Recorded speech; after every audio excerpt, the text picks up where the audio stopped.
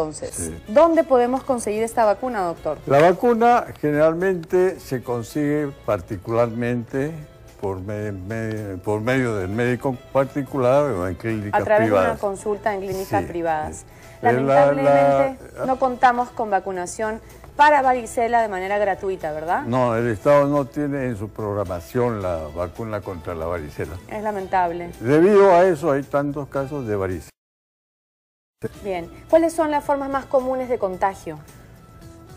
Las formas de contagio es cuando estornuda el, niño, este, esparce a su alrededor los virus y esos virus inmediatamente eh, se produce el contagio. Ya se contagió el niño. Una vez que ya se contagió el niño, el virus ya va a los pulmones, al hígado.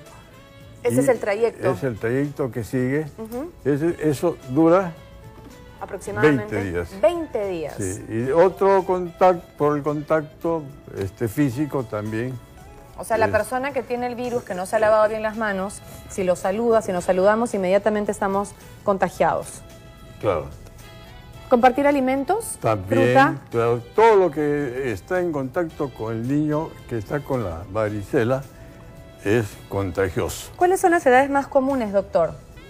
La, edad, la edad más joven de 4 o 9 años.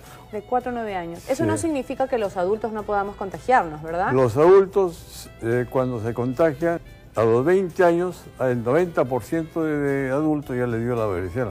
Pero si le dio la varicela cuando son adultos, es más grave Es más grave. ¿Por qué razón?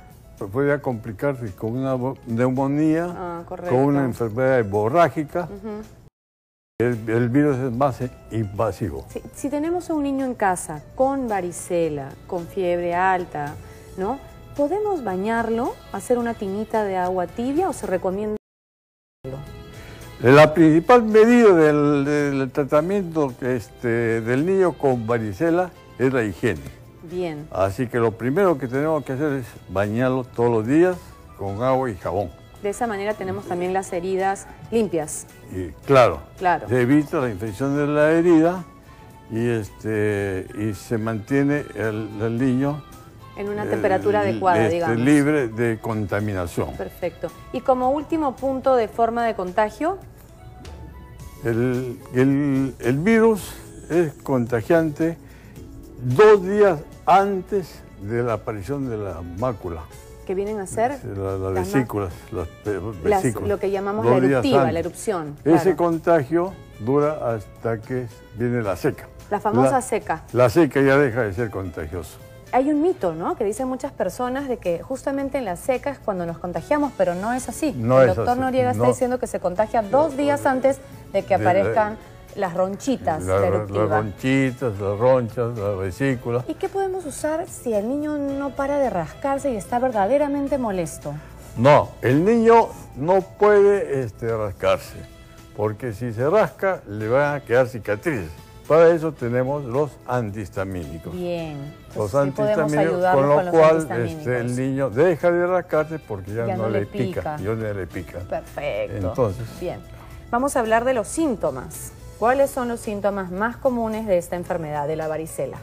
La varicela es, este, es una enfermedad que si es el niño este, que, se produce un niño que no tiene más síntomas que las vesículas y las pápulas, nada más. Fiebre no da, ¿no? Y este, sus complicaciones son mínimas. O sea que lo único que tiene el es un eh, este, espacio como cielo estrellado, de, tal, de tal manera que se ve una pústula acá y una, y una cosa acá, otra pústula acá y una cosa acá. Yo me acuerdo, doctor, cuando me dio varicela, traumático, terriblemente molesto, fastidioso. Claro, y es difícil decir a un niño pequeño los, antihistamínicos. Así es, pero en mi época no nos daban antihistamínicos, doctor, había que aguantarse nomás. Bien, ¿y no hay una fiebrecilla ni una calentura? ¿Puede aparecer? A veces, pero muy raro. Muy, raro, correcto. Y, por supuesto... La, vesícula, mácula Las famosas ronchas. Las ronchitas. ¿Dónde aparecen? ¿En qué parte del cuerpo aparecen primero? comienza en la, cabeza, este, cara, tórax. Claro. puede, puede eh, aparecer también en la boca, Mm. ya, en la vulva, en todas partes del cuerpo puede aparecer. Perfecto. Y vamos con el tratamiento, doctor. Primer punto del tratamiento. El antihistamínico, como había El comentado antihistamínico, claro, no rascarse, no usted. Atención ahí. La ducha, la ducha, higiene. bañarse, claro, bañarse, Y por último, tener las uñas. uñas bien cortas, Cortas. y limpias. Las recomendaciones, el tratamiento que debemos seguir cuando alguien de la familia presenta la varicela. Para y terminar, otra cosa ¿sí? importante, no darle corticoides al niño. ¿Por qué razón, Por- doctor? porque el corticoide, pongamos que un niño sea más antibiótico, le da la varicela se enciende más, porque el corticoide baja las defensas. El corticoide baja la defensa. Claro. La baja de defensas y quizá la poca higiene han sido las causas de que los niños Claro. claro mueran con la enfermedad varicela, claro, como hemos visto en las que noticias. claro, que, claro, Sí. claro. Bueno, muchísimas causa. gracias, doctor, por habernos acompañado, por habernos explicado acerca de esta enfermedad.